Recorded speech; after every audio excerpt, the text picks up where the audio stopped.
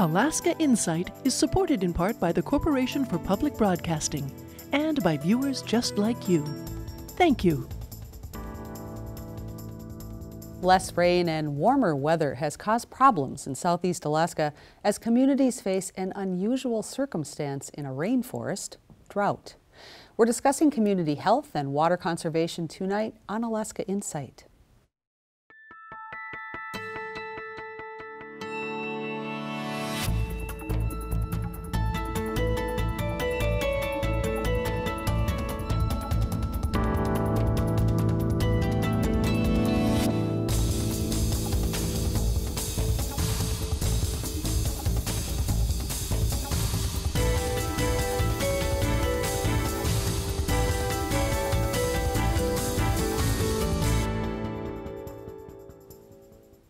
When you think of extremely dry conditions, California wildfires probably come to mind.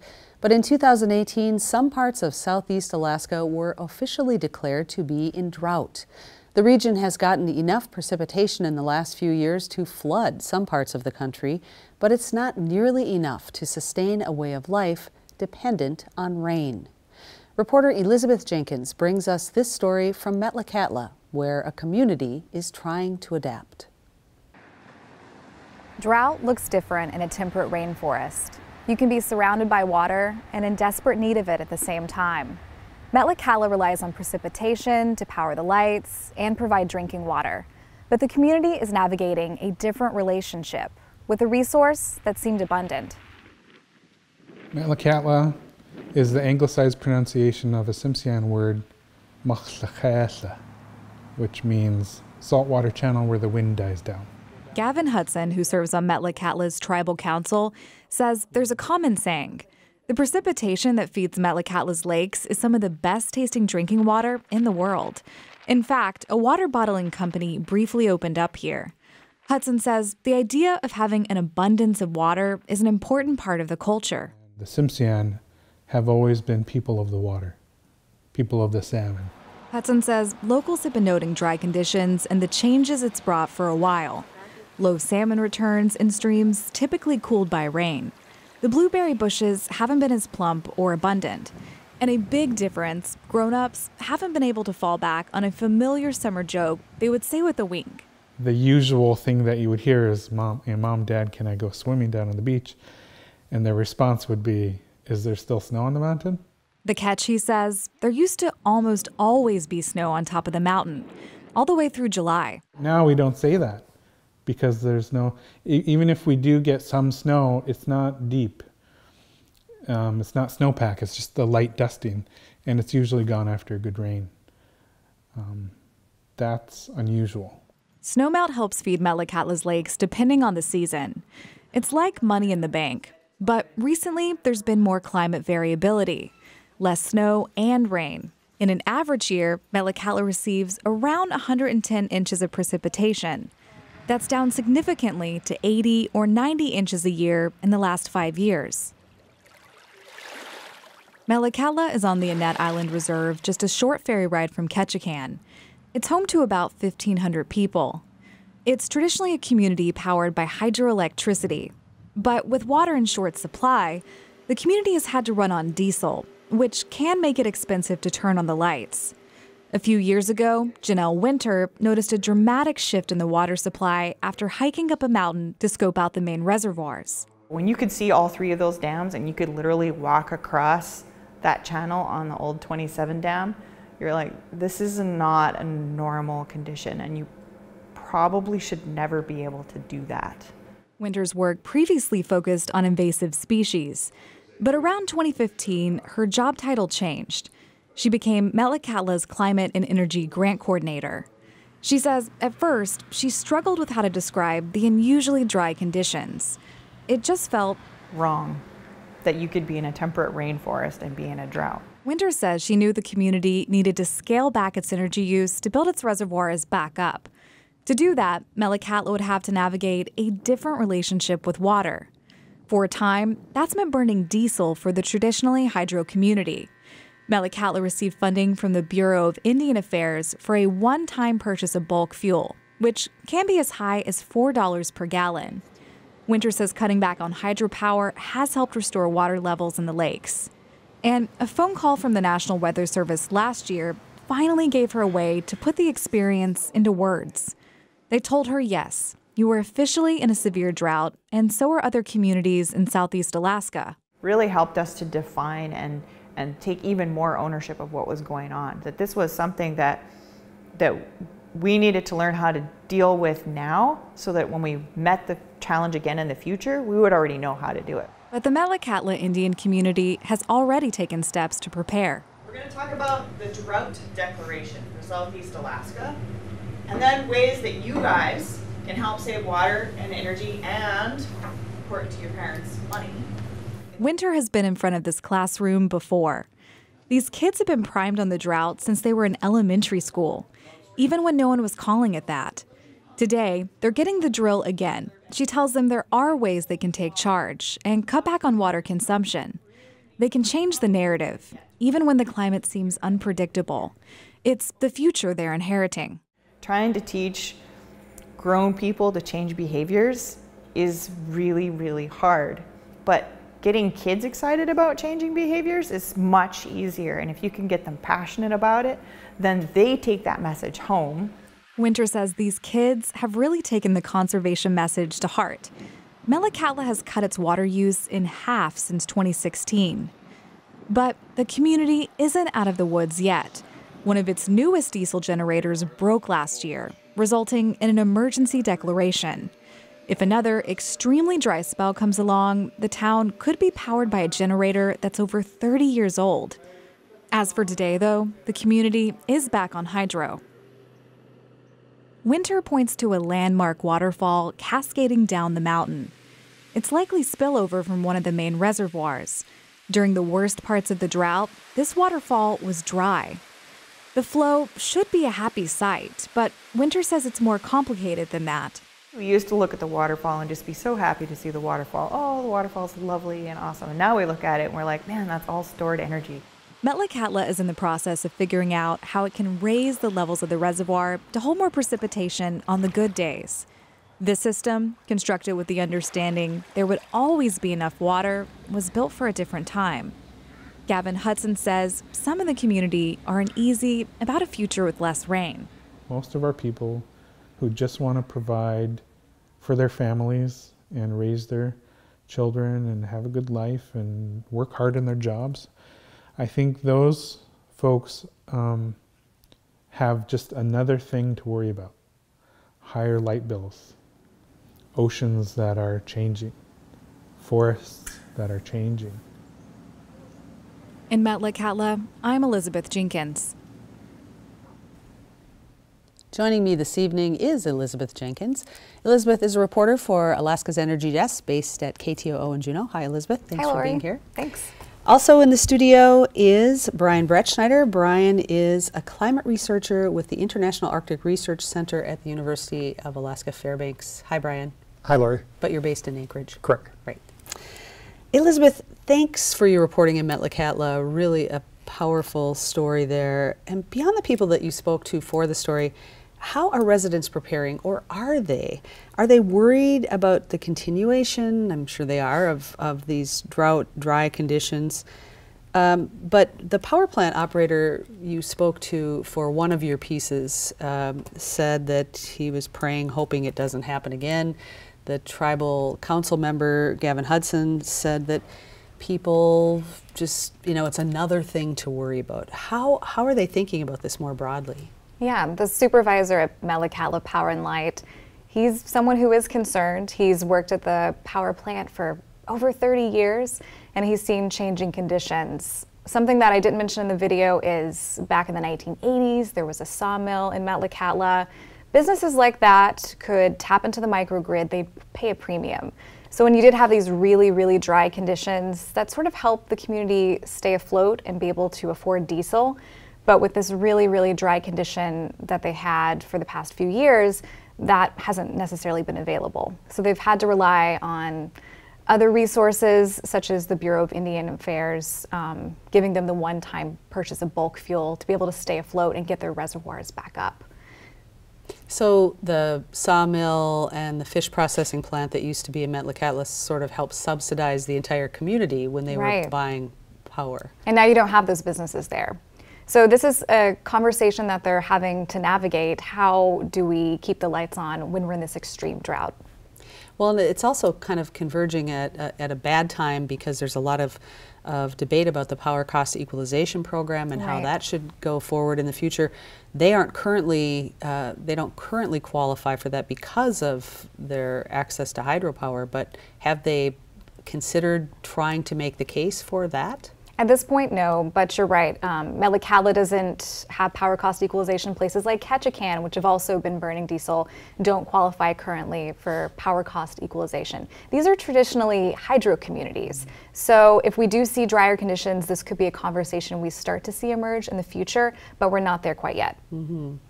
Brian, Governor Wally Hickel once proposed building a freshwater pipeline to California because of the abundance here, you know, calling Alaska the Saudi Arabia of water. Fast forward, and you've spent much of this year researching drought in Alaska, a topic that hasn't had much research in the past. So, what have you learned, and why hasn't there been more uh, examination of this? Well, what I've learned is that there's very little uh, data on drought in Alaska. You know, if you look at the lower 48, there's lots of information. There's research centers. There's uh, federal programs. There's uh, it's in the news a lot. Uh, but here in Alaska, there's really been almost no research done, and the, the little bit of research that has been done uh, is, is mostly tied to invasive pests like spruce bark beetle, um, but very little or to nothing on uh, the impacts to hydrology, to uh, hydroelectric, um, to even to fires. Uh, so it's really kind of a new emerging area of research that uh, we're just trying to, right now, even kind of define what the parameters are. I mean, literally, the first building block is well, what is a drought in Alaska? Does a drought in southeast is that the same as a drought in the interior or on the north slope? Um, and, and the definitions really are, are mostly unsatisfying. Uh, the, every definition from the National uh, Drought Center to the National Weather Service uh, basically says it's a lack of precipitation that has adverse impacts. And so, um, so kind of even just setting up some definitions is really important to, to, uh, to developing a future policy of, of how, we, how we deal with these uh, conditions in the future. It sounds like uh, if, if, the, if the definition is that vague at this point, it sounds like a lot of anecdotal information from communities is going to be crucial, adverse impacts. So, how much are you relying on what people are saying about how it's affected their lives and their livelihoods for gathering up this information to create that definition for Alaska? Yeah, well, and that's a really good question because you know we, we have to we can't just necessarily look back and say, well, what years you know was there less precipitation? What years was there more? So, for example, here in Anchorage this year, you know, we'll probably end up the year with a with an unremarkable precipitation total, probably a little bit below normal. But that masks the fact that for three months, when we were supposed to have our rainy season, it just didn't rain at all, and we had a very intense, perhaps even record-breaking drought. Uh, again, in, in a time where i historically, when we look back, this year will, will look rather unremarkable in a lot of ways. So, so we need those kind of proxy records, and we need those uh, those kind of testimonials from people, like, hey, this this these were impacts, and these were severe impacts that we felt at the time, so that we can now build our baseline for for uh, for describing these things. Do you rely a lot on citizen observers who have uh, calibrated uh, instruments that are, you know, checked out by the National Weather Service or by your office, or is it a combination of folks like that that are sort of official um, citizen record keepers, and also just, as you said, how it feels for citizens to experience these things? It really is at the community level. It's what were the impacts and how were people affected by a lack of precipitation, uh, much more so than, than kind of formal records. And so, you know, maybe it's uh, water supply in, in one community, uh, and maybe it's, um, you know, winter snowpack in another, and maybe it's reservoir storage in another, and maybe it's, um, you know, uh, fuel moisture for fire conditions late in the season. So those are things that you really can't tell and, and you can't document without someone there to, to, to catalog these things uh, or, or to provide an oral history. Um, so, so really the saying, you know, if a drought happens and there's no one there to observe it. Did it really happen? And, and in many cases, we, it, it's just lost to history without someone there to, to identify how it was impactful to their community. Fascinating. Uh, Elizabeth, what did Metlakatla residents tell you about their cultural relationship to water and how that sort of intersects with water conservation? Sure. You probably heard Gavin Hudson say in the video, Tsimshian water and salmon are very, very important. And also, like in the video, there was a water bottling plant there at one point. So, I mean, it's always just been this massive part of the culture. You look around everywhere in Metlakatla, you see water. And so I think this has been really hard for people to wrap their head around we are in a drought. Um, for a long time, Janelle Winter just called it extremely dry condition. She went out and talked to the community about it, but she didn't have a way to describe it. So that drought designation in 2018 really meant a lot to them because it gave them a language to talk about what they've been experiencing since like 2015. She mentioned that it's really hard to change adult behavior. Mm -hmm. um, so she's working with kids in school. But clearly, adults did respond because they cut their water use in half in just a very short time period since 2016. That is really dramatic. Did, did people talk about how they accomplished that and, and how the community kind of came together to make those decisions? They had uh, a climate change conference there, which they invited the community to attend. And then children are the best messengers. Sometimes it's worked a little too well. She talked about kids unplugging uh, DVR recorders and things like that to save energy, but it's really gotten the message across. So just like simple fixes, like um, when you're doing your dishes, maybe turning off your water earlier, unplugging certain things you have around your home, just kind of drilling it into the culture there and then using the kids as these little messengers. I think I've even heard them called water cops to go out, tap your parent on the shoulder and say, hey, you know, we're in a drought or we're having these extremely dry conditions, maybe we should be more mindful of the energy consumption. I like that term, water cops. That's great. Brian, have there been drought conditions all across uh, Alaska regions this year, or are there concentrated areas um, to a select few places in the state? Yeah, so it's important to think of drought in terms of time scales, right? So um, you know, say March and April is a time where we don't get much precipitation. So if it doesn't rain or snow those two months, we won't consider that a drought. It's not really a big deal. But then if it doesn't rain in July and August, for example, then that is very impactful because that's a time where our, our environment expects a lot of water. So in July, there was pretty much no precipitation anywhere in the state.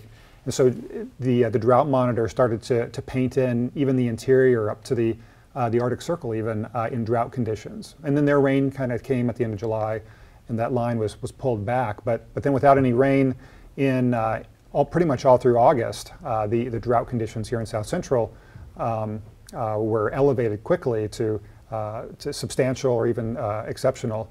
Down in Southeast, then now we're talking, particularly in southern Southeast, about a two, three, four year, even five year conditions. If you look at five year blocks of time, very, very dry.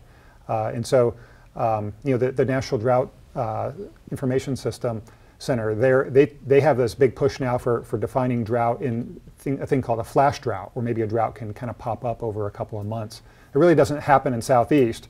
Your droughts have to evolve over long periods of time.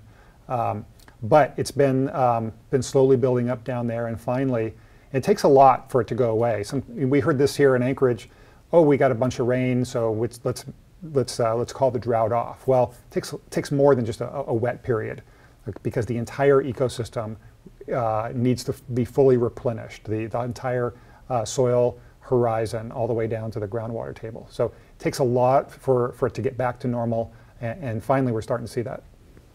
So the, the forecast, the prediction for the future is mm -hmm. warmer, wetter for mm -hmm. Alaska, and your numbers uh, show a 20 to 25 percent increase in precipitation. So I imagine that would be easy for people to say, whew, okay, no worry about drought anymore, mm -hmm. but that's not really the case, is it? So how, how will this change things and warmer, wetter doesn't necessarily mean that there won't be drought in the future? Exactly. So it, while we are expecting maybe a 20% increase in precipitation, uh, a lot of that will be in the summer in, for, in the form of more thunderstorms. Those, those events tend to run off more into the, into the streams. Um, but more importantly, um, we're expecting a lot of uh, additional, say, vegetation growth, well, those the, the, vegetation transpires a lot of moisture back into the atmosphere. So it might not necessarily make the soil, um, you know, carry more uh, water content. But we also expect there to be, because of the warmer temperatures, when it doesn't rain, for it to be drier. We expect the soil, the sun, to evaporate more moisture. And so this is something we see in the lower 48.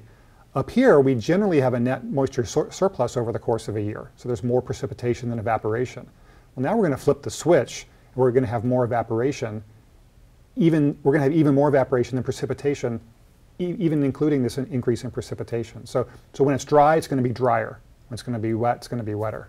So really big swings. Really big like. swings. Really big swings. And so yeah, so here in Anchorage, we average, say, 17 inches of precipitation a year. We may end up getting 20 or 21, but we may end up getting more droughts at the same time. Mm.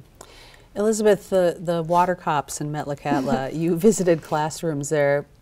Did you talk to students about how they're seeing their future? Are they, is it kind of stressful for them to consider this unknown that's, that's in front of them, or are they just uh, taking these practical steps like unplugging things and um, just taking action? So I got to go out with some young kids who are part of the Boys and Girls Club.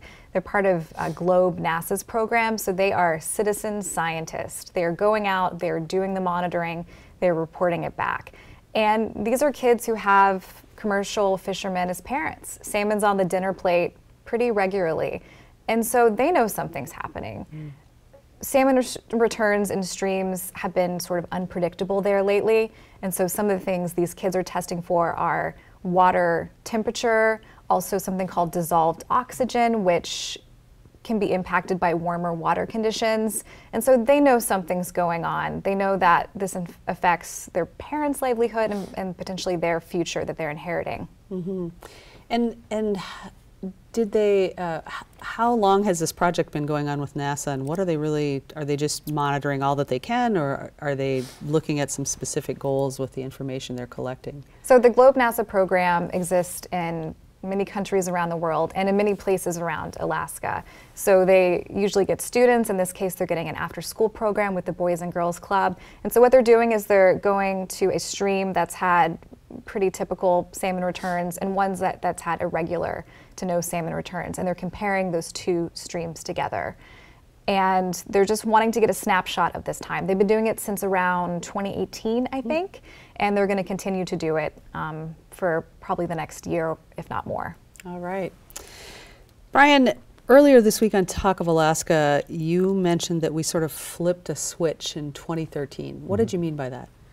If you look at the, uh, the climate data, particularly the temperature data, uh, right around Memorial Day in 2013, uh, it just it got a lot warmer uh, all across Alaska. And we've been kind of stuck in this, this new warmer paradigm now for, for over six years, six and a half years. Even while some other indicators have hinted that we should be on the, uh, you know, in the, in the overall ebbing and flowing, we, we, we should have maybe even flowed downward a little bit.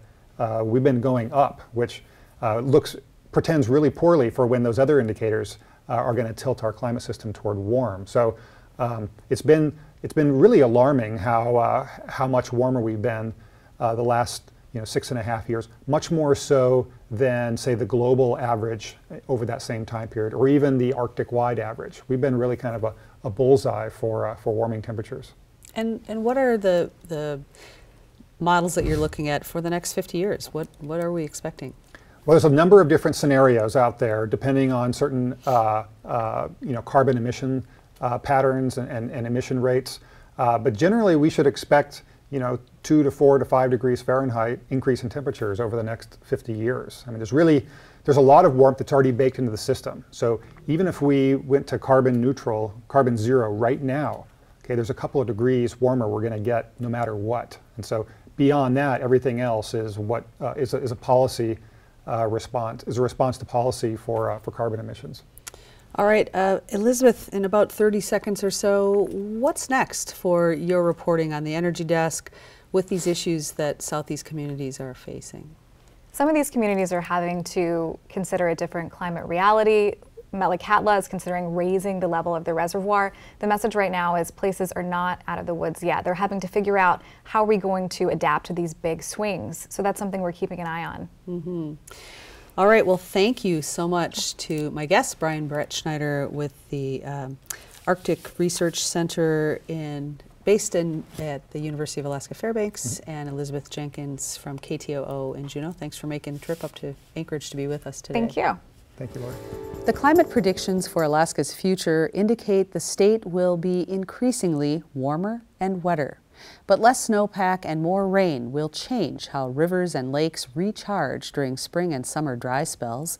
Historically, it was glaciers that maintained a steady supply of water to keep flow rates up and water temperatures down, something important for salmon and other fish, as well as providing affordable energy through hydropower for southeast residents.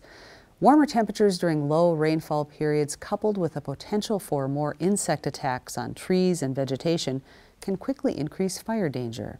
Alaska's rapidly changing climate is bringing new challenges, and planning now for conservation, mitigation, and adaptation will help residents prepare for a different way of life in the future.